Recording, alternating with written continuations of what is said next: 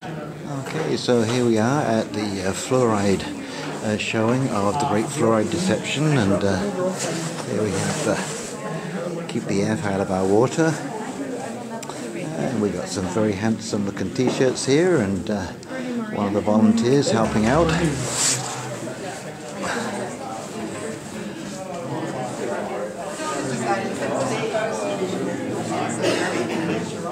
So we've got some interesting displays coming up here. Well, you look very charming in your t-shirts here. Oh, We're, you, uh, oh, that's great. You're here with a camera. would you like to introduce yourself for the uh, for the news item? I'm fluoride-free Linda. Fluoride-free Linda. And this is fluoride-free Charlene and Yes, fluoride-free yes. David and fluoride-free Michael.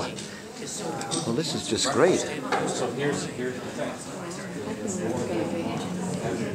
So, uh, just a quick rundown of our agenda tonight. Uh, We're gonna have a introduction, this, Linda's gonna come up and do some things and that sort of thing. We're gonna show a very short little film. Uh, Then Dave's gonna run through a quick PowerPoint that's uh, got a number of our points to it. Uh, Then we'll be showing the fluoride deception, which is about 26 minutes long, very short, and then a Q and A at the end with uh, Dr. Pellizzari and David sitting in these chairs. A chance to ask them questions and address your concerns, and um, I guess we'll go from there. So Linda, would you like to come up? Linda Clark, one of the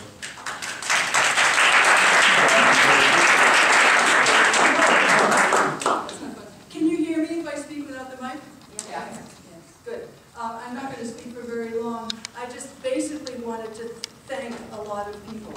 Uh, I want to thank you folks for coming. Um, And a little bit to thank some of the people who made this possible. Some of those people are the fluoride, uh, fluoridealert.org people. Um, And if you, make sure you get the little flyer, because it's going to give you a lot of information.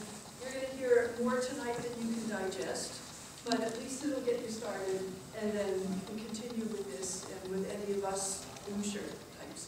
Um, The Fluoride Alert- Alert folks have a wonderful international website with extraordinary information on it.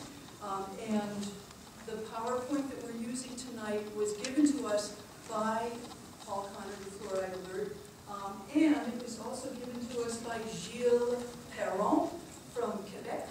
Uh, The folks in Quebec are extremely active with the fluoride movement, and so what we have for our PowerPoint tonight is a hybrid from Paul Connett and from Perron. Uh, So huge thanks to those folks for sharing their materials with us. We also have uh, people in Calgary working with us, because they've been fluoride-free for a couple of years now, and they've been sharing a lot of their materials and their experiences. It's just been fascinating to get to know all these wonderful people. Um, So I think that's most of what I need to say. If you have questions, we're gonna have a, we'll have a paper, or I think you might have some papers. Write your questions down that you want the panel to address. Instead of doing a spoken question thing, we'll take your questions written down and then um, address them when to the panel the end of the evening. So, and I think the only other thing I'm gonna ask is the folks who've been helping to put this evening together, if you wouldn't mind standing up for a moment, just so you can see this. It's been a small ardent group.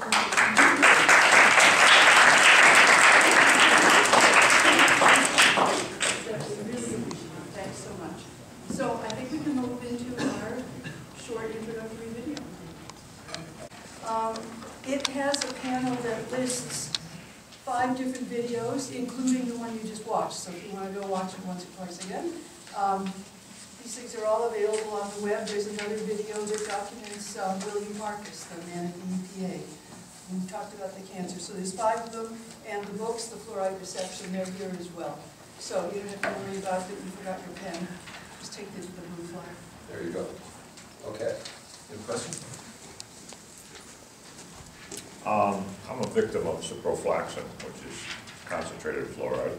Um, that involved, um, tendon damage, anxiety, and a recent x-ray shows there may be bone cancer in my jaw.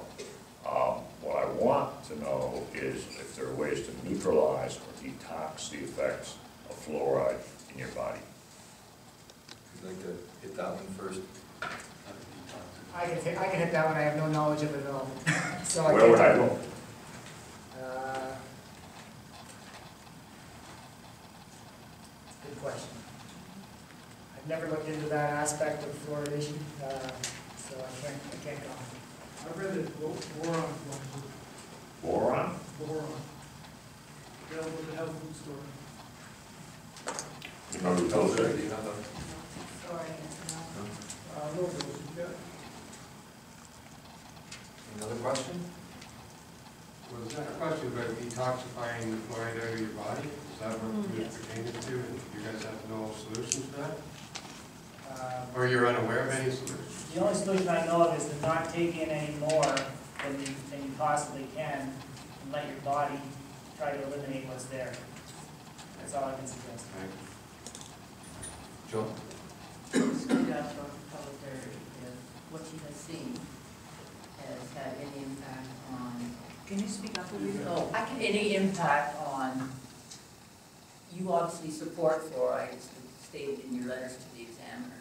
So I'm wondering, this information, has it impacted your opinion on fluoride?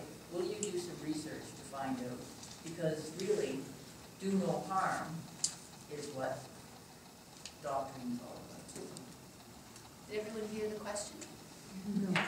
Well, I mean, I, I think what I, what we've all seen was quite shocking. I don't think anybody would disagree that it was shocking. And uh, I certainly think that there's um, been a lot of mistakes in the past. I mean, look at asbestos. They talked about asbestos. Uh, We know it's- it's a carcinogenic uh, substance. Tobacco, another one, lead. Um, So uh, certainly, we don't want to repeat those kinds of mistakes. Um, I, I think the, but I, I do think, you know, we've just been through about an hour and a half of material that was quite biased and one-sided. Uh, I think to be fair, it would be good to see, to be able to uh, have both sides of this debate. And there's no way that I'm going to be able to do that in a few minutes. I won't bore you with even trying. But I think the, the film did ask a really good question. It said question, you know, it said question, question authority, question. And I think that's, uh, that we all have to, uh, question and we have to make sure we have the best information, that the information is accurate. And I, I certainly believe that that's what is, is happening. I, I I know, for example, that since that book was written, what was published, what, two thousand and six? Which book? The book, the Harrison? fluoride deception, Oh, okay. in two thousand and six, I think.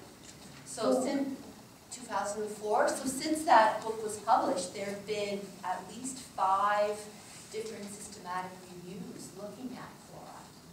And for those people who aren't familiar with the systematic review, it's a very um, meticulous look at all of the evidence, all of it.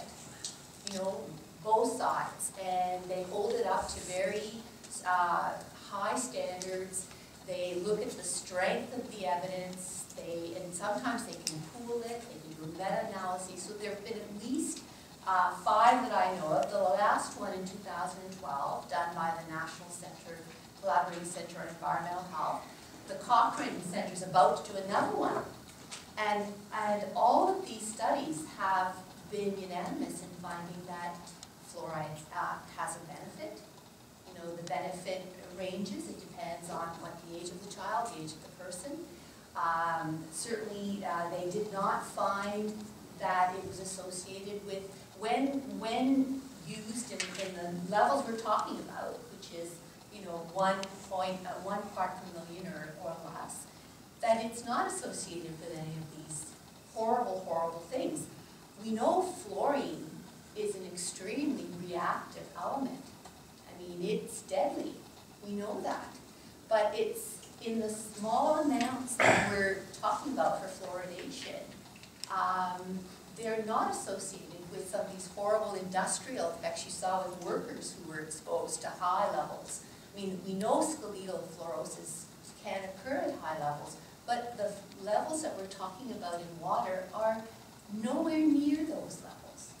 And, and so the, the science is accumulating, you know, and as I said, it's being studied, it's been studied, it's about to be looked at again.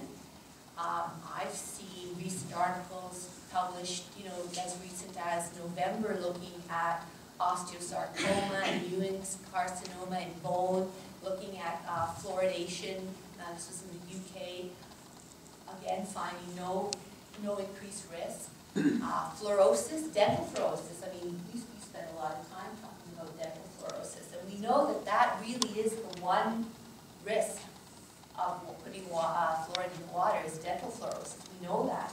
Um, and, uh, I worked in Stratford, I was a medical officer in Stratford, we had natural fluoride in our water, and lots of it. And we would warn parents, you know, not to use the tap water with their children, uh, because it, it had such high levels of fluoride, and you could see fluorosis on the. But the Canadian Health Measures Study just did a national study in Canada and looked at dental fluorosis, and in fact, they found that the levels of fluorosis were so low that they couldn't even report them. So. Can I interrupt that just for a second? Can we get David Sorry, a I, chance uh, the levels of moderate and severe fluorosis were low enough that they couldn't report them. That's right. Not the very mild and the mild, and my contention is that the very mild and the mild are still a problem, and it's not just a cosmetic problem. Well, I mean, I- you don't have to take my word for it. I mean, we have a dentist at the health unit, and unfortunately, she couldn't be here today, but I'm, I'm certain if she were here, she could respond. Um, It's not a problem for us. I think actually, um, we probably saw more fluorosis back when uh, we were using a lot of, or when dental toothpaste was, was being given to young children. And we know that children under the age of three don't, uh, will swallow a lot of it and probably ingested more fluoride from the toothpaste. So if anything, you know, I, I think it's, uh, uh, we're seeing less of that now because we aren't recommending using fluoridated toothpaste in young children under three. So we've, uh, so I think we're actually starting to see the benefits of even that. So to answer, it's a long, I'm sorry to be so long-winded, um, but to answer your question, I think, you know, there is good science being done. I think the good science is reassuring. And, um, and, uh, certainly it's showing that there's definitely a benefit. And when you consider that dental decay is, um, the leading chronic disease, the leading chronic disease. Um, it certainly seems that, um, there's a great benefit to all of us by adding fluoride to the water in small amounts. That's right. Yeah, and I think we, sorry, I just, I think we have links to the studies on our, on our website. So, you know, you don't have to take my word for it, or David's word for it.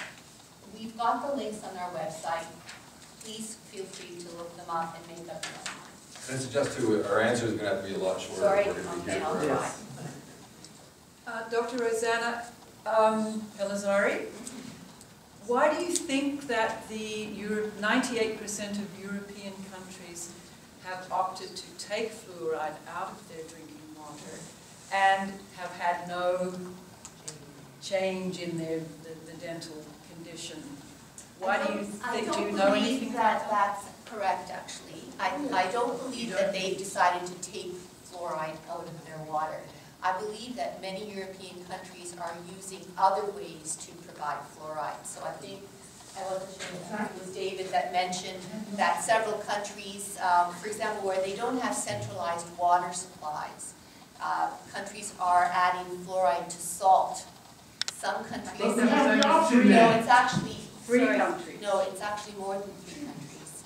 Um, and other countries are adding it to milk. So they're like, just like we add vitamin A and vitamin D to our milk to prevent, uh, rickets. Some of the European countries are adding fluoride to their milk. However, those products are products you can choose to ingest or not choose to ingest, whereas the public water supply is in a different category. Yeah, I think. What do you feel about the personal choice aspect? Well, I think, you know, I think there's, I can certainly understand the issue of personal choice, you know, and I think there's often, I mean, this came up with the pasteurization of milk debate recently in Ontario, where people were suggesting that they should have a right to choose to, to purchase raw milk.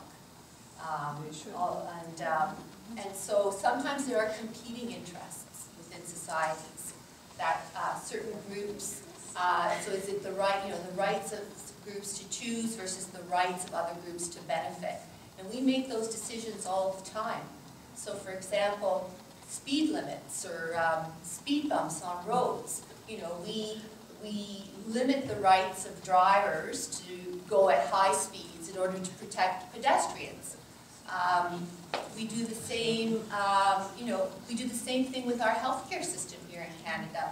You know, um, we say that, well, you might have more money than David, and so you could buy, well, whatever, you know, you should be able, if you had more money, you should be able to buy your way to faster treatment. But we say no. In fact, in Canada, our healthcare system is, it's need, right? It's how much it's need rather than ability to pay. So we make those sorts of trade-offs all the time. I don't think they're equivalent, really. No, I don't. Well, Can we, can we move on to another question, just because for time, or we'll be here all night? Yeah, I had a question. Um, how much does it cost to put the fluoride in our Peterborough water? You gave a figure? Uh, Three or four years ago, I was given a figure of twenty-one thousand, and I, And how many units or how much poundage or uh, kilograms? well, I don't know, you probably get that. Well, my curiosity is, how much would it cost the uh, industrial waste people to actually take that waste and properly dispose of it? Would it cost more or less than what it costs to buy? I can tell you, last figure I heard, five thousand dollars a barrel. And here's a little uh, part of the story too, is that because it is a toxic waste before it gets sold out to the public, um, one of the things that they do down in the phosphate industry is that they'll pump this stuff into trucks and just drive trucks around in circles. Because when, the- when it's in transit, it's no longer a stored. You know what, So I, I, it's can cheaper to I, drive it, can so- I get in? Um, First of all, I want to thank you for inviting me. This Well, of course, we need both sides. Well, and thank you for giving me a Thank few you for minutes the- the versus. courage. uh, Well, no, but I just, I really want to respond to this whole thing about waste, okay? It's not waste. It's not toxic, no, Okay, you can call it waste, but let, let, hear me out, okay? It's not toxic waste. People, you can call it that and, and scare people, which is very effective. It's a, it's a byproduct, okay? Uh, yeah. So is uranium. A. You're talking in circles, come on. So it's a drug or a nutrient? Hold on, let her finish. You know, I, mean, if you're going to invite me here, then please Go me, so, you know, fluorine, which is an element, is found in rock, okay? It's the thirteenth most common element in the Earth's crust. Highly reactive, just like chlorine is highly reactive. These things are dangerous because they react. And uh, when they're extracting phosphate out of the rock to make for fertilizer, the fluorine is also liberated and it's captured. Instead of expelling it out into the air, which is what you saw in that, and that's what kills the cows, it's the fluorine gas. So instead of expelling it out, it's, it's precipitated out into a salt. And then, the, and, uh, the fluoride is, it's an ion, which is liberated when it's added to water. It's not, it's not a waste, it's a byproduct. And those of you who are environmental should understand the benefits of being able to capture byproducts or, you know, rather than just to throw that stuff up into the atmosphere. So I think it's unfair. As an environmentalist, we don't actually think to ingest the stuff. Well, One second. Yeah, David, you got a point? Well, explain the logic to me of taking something that you can't put into the air because it's a toxin, trapping it to avoid that, and then putting it in a tanker and bringing it up and putting it in the water supply where it goes back into the rivers. Yeah. You know, I mean, it seems so obvious to me, but we haven't solved any environmental problems, we've just put the pollution in a different place. Well, again, you know, I, I think it- you're, you're characterizing this pollution, and I think that's unfair, but, you know, we've got some people here from the PUC, and I'm wondering if perhaps uh, you'd like to comment on, on, you know, is this waste? Is this waste? Is it pollution? What do you, what would you, uh, how would you characterize it? Well, I'm not a uh, medical officer, but uh, I would imagine our body metabolizes some of the fluoride, that it uses some of the fluoride. Our teeth, our bones use some of it. Um, we get it as a byproduct, I agree. Waste implies that it is no longer of use. But obviously, there's a science out there, and there may be two sides to the science, but there's certainly the side of pro-fluoridation that, that can use this. I mean, if we didn't believe in bypro, or using waste, we wouldn't recycle. So this is a, a, a use of, of a byproduct for a benefit, uh, or a perceived benefit, whatever which way you want to call it. But it, it's not a waste. It's not a let's throw it away type of thing. If we can reuse, then that's, I, as far as I'm concerned, that's uh, uh, the best option for both. It's a win-win scenario. If you can find me one other use for hydrofluorosilicic acid, other than to put in the water supply with the intention of preventing tooth decay, I'll stop calling it toxic waste, and I'll call it a byproduct. Is there one other use? Why do you need one, more than one use? Well, because it shows that it's a byproduct and not just, you, the science is, is saying that it's not good for you. Our science is saying it's not good for you. Well, you're, yeah, you just, you just called your science the only science, there's more No, than one science. This debate's been going on for, what, seventy years now? And I doubt we're gonna solve it tonight. But I don't call it, I don't call it waste. I'm, it's my understanding that arsenic is a carcinogen, and that the optimal amount or acceptable legal amount of arsenic to add to water is zero, because it's carcinogenic. If you look at the PUC website and see the breakdown of hydrofluorosilicic acid, it includes arsenic and lead. Aside from whether the fluoride is good or not good, why are we putting a known carcinogen into the water? If you say, well, it's only a little bit, I don't think that's the law, that you can do just a little bit of something that's carcinogenic. Wait, did you want to respond to Linda's question? Well, you're correct in that, that the hydrofluorosilicic acid does have a, a level of arsenic. But I always like to look at things in perspective. If we look at the level of arsenic in the wa, in the raw water, in the river water, we're talking about, uh, twenty, on average, over the last five years, about twenty-seven parts per billion. And we're adding, or sorry, 0.27 parts per billion. So Is is that hydrofluorosilicic acid we find in the is ar- river? This is arsenic. This is arsenic in our river water. Arsenic. Okay, so you might call it a natural arsenic, but it's in the river water. It's background arsenic.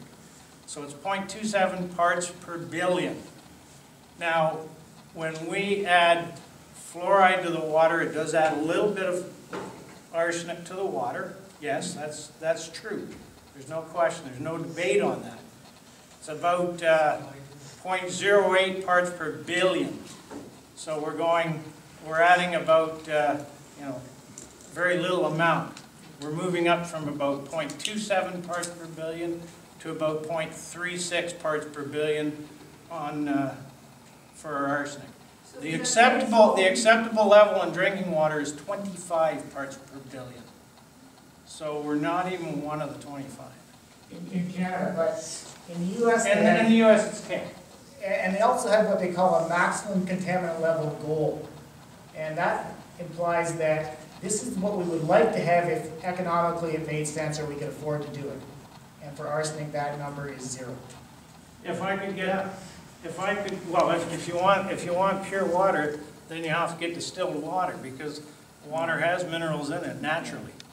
Every water has a different fingerprint, as I call it. And our water happens to be a surface water. There's, through its natural progression through the earth and through the nature, through the water course, it's going to pick up some of those minerals. So if you want nothing in your water, then you'll have to distill it. But as I understand, distilled water is bad for the body because it pulls minerals out of the body. That's, uh, Water is a natural for thirty-one years, I've never had anyone show me a piece of research to back that up.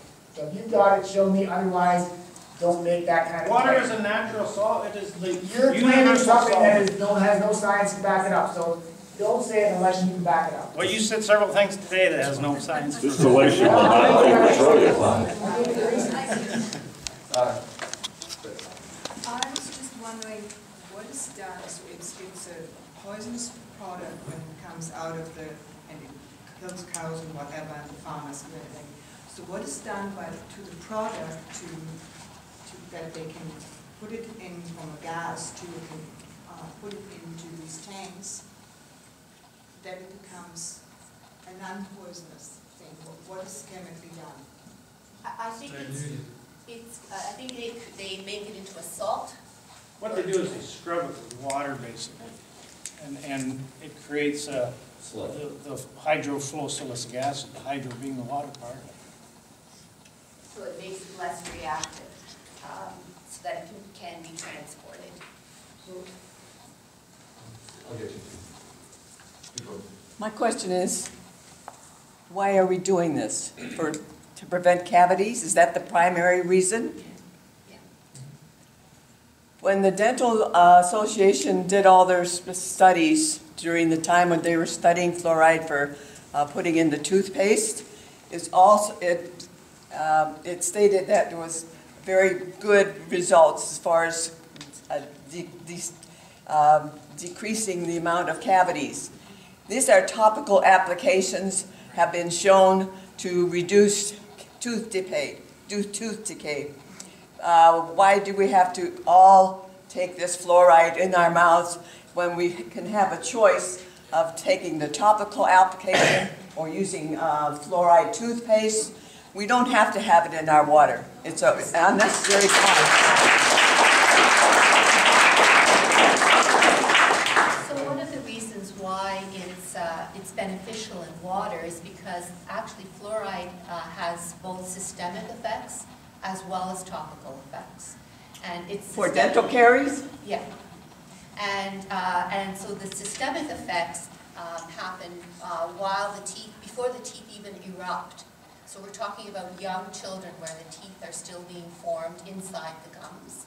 And in that, in that period of time, fluoride actually has a systemic effect. It strengthens the enamel, it makes it less, um, less, uh, le- it, it makes it stronger to resist the acids that the bacteria create. And in fact, in that, um, when it's done at that time, the actual benefit is the greatest.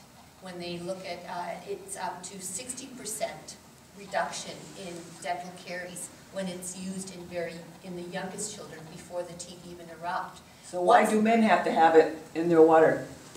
Why do men have to have it in their Well, so water? It's once- just if only for uh, pregnant women.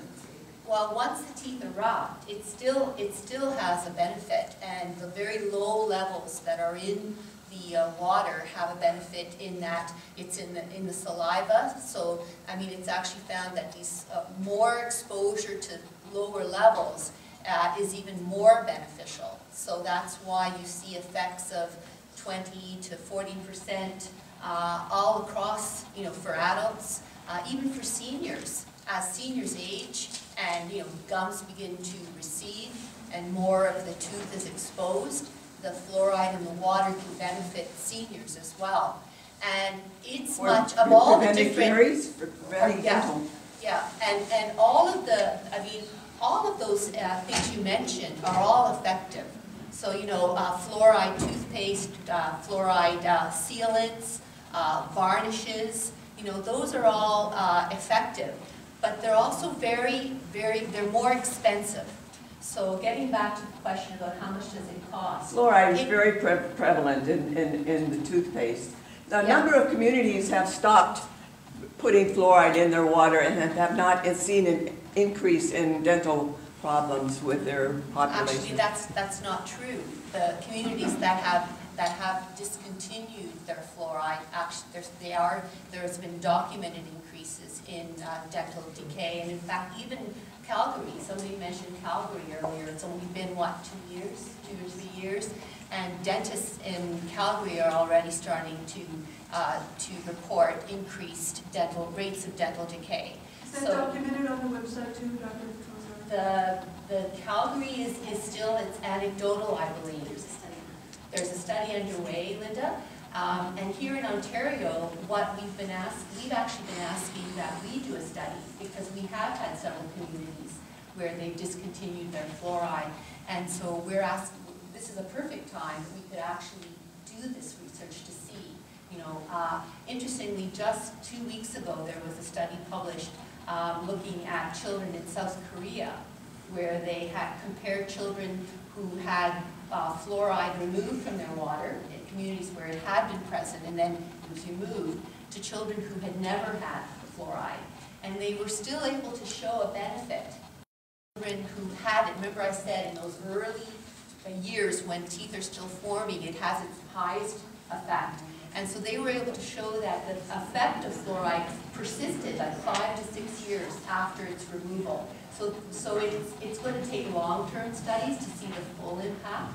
But uh, definitely, there are studies that have been published that have shown it, and I, and I think here in Ontario, we should be doing those studies as well. A question for the doctor. Um, I'm curious if you're critical of the corporate ties to the studies that you're talking about, especially when you agree that the, the film is shocking and it shows those corporate connections, those corporate uh, funded studies or the implications of researchers being fired for having an oppositional view. And I'm curious, beyond that question, if you believe in precautionary principle. So I, I, think you all, one always has to be cautious with industry-funded uh, research because of the uh, conflict, it's essentially a conflict of Um, and um, when you, when uh, systematic reviews are done and meta-analyses are done, you can actually, uh, there are tools that you can apply to actually detect bias. I mean, there's, there's different kinds of bias, and, and so you can actually try and detect it, you can, um, you can um, correct it. One of the ways you can actually, it's interesting, we just had grand rounds on evidence-based medicine a couple of weeks ago, and um, Dr. Guyatt was here, and he was looking at big pharma and, and big pharma funded research. And one of the ways they catch you is that, I mean, often the research is, is well done, methodologically it's, it's well done, but what they, they tend to inflate the, the benefits. So they'll, they'll, they'll say, you know, they'll look at the, so if you look at the results, and then you look at the discussion, they, um, they overemphasize the benefits and make it sound better than it really is. So one of his recommendations was, you know, don't read the discussion, just, just look at the results and, uh, and don't get swayed into that. So there are ways that you can actually try to either adjust or actually you can even go as far as, as ignoring research that's been done by industry. You can, you can even do it that way. So there's ways you can do that to try and determine what is the truth here? You know, what is, is there a fact? Is it a benefit? Is there a harm? Um, as far as your um, second question on precautionary principle, mean as it applies to fluoride? So, uh, I mean, we know, I think, I mean, the maximum concentration is, you know, one that, that's, um, that's, um, uh, allowable or recommended is, you know, one point five, and we're seeing levels of zero point six to zero point seven here in Peterborough, so we're half. We're half of, of where we could be, and I think that's, that's good practice, you know, we, we're, we're keeping the levels down as low as possible, so that, you know, it's a trade-off, as low as possible, so that we get the benefits, and we try and, we try and mitigate or prevent the risk so that we don't get dental fluorosis in our children. So I think that's, that's a pretty good approach. I got one, one question left, sorry, we gotta get out of here by nine, so. Okay, I I want Very to talk short. about the, uh, given they may be small levels, but we know that there's lead and arsenic in this hydrofluorosilicic acid. And I don't think anyone would deny that there's, there are cumulative toxins. And how can you morally justify any product put into the water, no matter how small an amount of lead and arsenic? How can you justify morally adding them? Well, let me correct you, there, there's no lead. Okay, so let's say just arsenic. So- Okay, we've heard about that. How do I justify it? Well, we put chlorine in our water. Drinking water. Yeah, but it's still a chemical. It's a chemical. It's a chemical. We put chlorine in the water because do you really want a Walkerton? No, No, No, I mean, so these are the trade-offs we make. Drastically different costs. Well, actually, chlorine is, if anything, if I had to choose which one I'm more concerned about, I'm more concerned about chlorine. I mean, the byproducts But that, excuse me, that, that chlorine is treating the water, not the Yeah. human. pardon me? It's treating the water, not the human.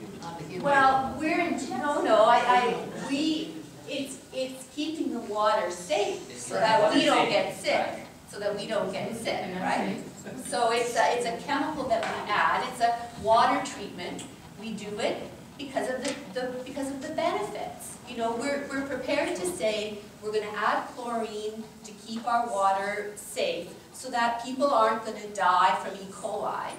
And yet, we know that adding chlorine to the water creates, I mean, I think we increase the risk of cancer, you know, uh, I think it by, I mean, there's a slight increased risk of cancer because of the byproducts that are formed when the chlorine uh, reacts with organics in the, in the water.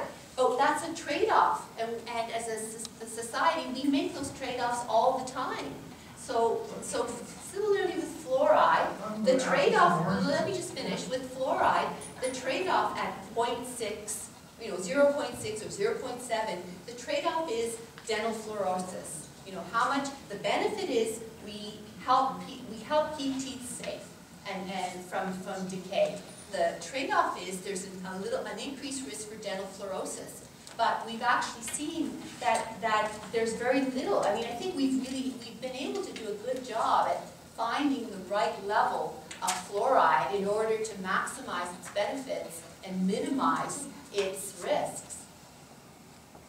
I got like two minutes left, so if somebody's got something that's really. So is it a drug? No, it's not a drug, it's an element, it's a, it's But a, it's, it's used for treatment of a. of- mm-hmm. Health, healthcare. It's a health treatment, you're saying. it's a, it's a preventive treatment for sure, So it's gotta it's be a drug. Well, no, because the, the, The uh, definition of the, of a drug, and you had it up, I think, uh, um, was that it's manufactured. Uh, And I was myself wondering, well, okay, so why is it a, why are elements, why are nutrients not considered drugs? Is it because they come from the rock, from the, from the earth's surface? Is it because they're, if they're not really being manufactured, they're being extracted, they're being, I think it's because they're necessary for human life, Nutrient, nutrients. right. Drugs are That's why because they're they're making a called flame, Well- you're making a flame out of it. Yeah, so I, I mean, I don't, I, I, I don't, so, you know, I think between us, we might be able to come up with, with the answer. But the rea, so it's not a drug, it's not classified as a drug, I don't consider it a drug. Um, and as I said, I think I tried to explain, I think it has its benefits, and I think it's, uh, you know, given, given the, the, the great benefits, it's, it's uh, certainly worth a small, very small risk. David, you got anything left to say? And then- Just talking about the benefits.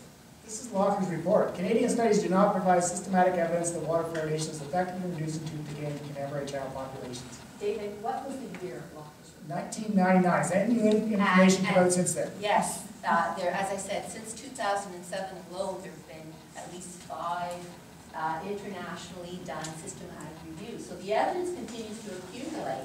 That's almost 10, 20 years worth of evidence since that, since he did his work. So Locker's, Locker's conclusions were wrong, then, is that what he concluded it was a benefit. I mean, his, that, his conclusion was, despite the fact that there were differences were small, that did, he said, okay, he says, uh, although there were, there were design weaknesses, there were methodological flaws, the balance of evidence suggests that rates of dental decay are lower in fluoridated than non-fluoridated. Yes, So and he- reading the next part, the magnitude of the effect is not large in absolute terms, and is often not statistically significant, and may not be of So what I'm saying is that So- since then, since then, there's been more evidence to actually, they can now quantify the effect. And when we look at numbers, for example, numbers needed to treat, we know now that to prevent dental decay in one child, you need to treat seven. Numbers needed to treat is seven. So that's all that has happened since, since he did his work. That's all evidence that has emerged since then. Well, If there was a link between the uh, fluoride and the hyperactivity issue that, that, that, um, I can't remember her name, Phyllis somebody? um, I wrote, I wrote her name down. Mullenix. If that turned out to be true, would you revisit this whole situation? Well, I Because think- If it did have a bad side effect like that, Oh, I, for sure. it would be, That would be very, would and be I, very I mean, I worrying. wrote her name down, I'm, I'm going to definitely, uh, look, look her up. But I certainly, um, I, I'm not aware of her work. I, I have seen reviews of the Chinese studies that, were you the one that talked about the Chinese? And, I mean, and those studies have been reviewed and found to be very methodologically weak, and that the, they can't, uh, the results, um, have not been accepted because of those weaknesses. So I, but I don't know her work, and I definitely would like to read about it. I, yes, my goodness, that was quite, uh. David, last comment. One thing I don't think, I don't know how you can argue with the numbers that I gave for bottle-fed infants. Oh, um, we've got some actually, we brought some, uh, information. Property Parents. We, for parents, we've actually done the numbers ourselves, David. So where am I wrong? You're, you're, wow, how much time do we have? The Dental Association gave a number. Yes. They said the number, fifty to seventy micrograms per kilogram of body weight per day. So, so we've done, we've done the math, we've used, using Peterborough water, and we've actually got the numbers. Do we actually have links on, from our website? What we've cre- Can you point us to for stuff that's not on your website? Like, well- well, you know, I'm just, it's, the- it's the classic, like, here's our argument, it's our argument, it's on our website, Well, and these no, are the, like, the but government Michael, things that are. It's not, what we've tried to do with our website is, we've tried to, it's not our Are you information. presenting any evidence We that give suggests you- it's not good for you? We give you the links to the systematic reviews, because All of them? that's. Uh, Are, like the ones that are also saying it's not good for you? Are I'm you not- pointing I'm people to that? aware- Michael, I'm not aware that there has been a systematic Right. review that has shown that, because when you, Right. when you Well, that's great that you admit that, that you're not aware of that, and other people are. There was primary literature out there. I'm sorry, we've got. Yeah, we've got to go. And- I'm on the hook for nine o'clock. And a big round of applause for both of these guys. and especially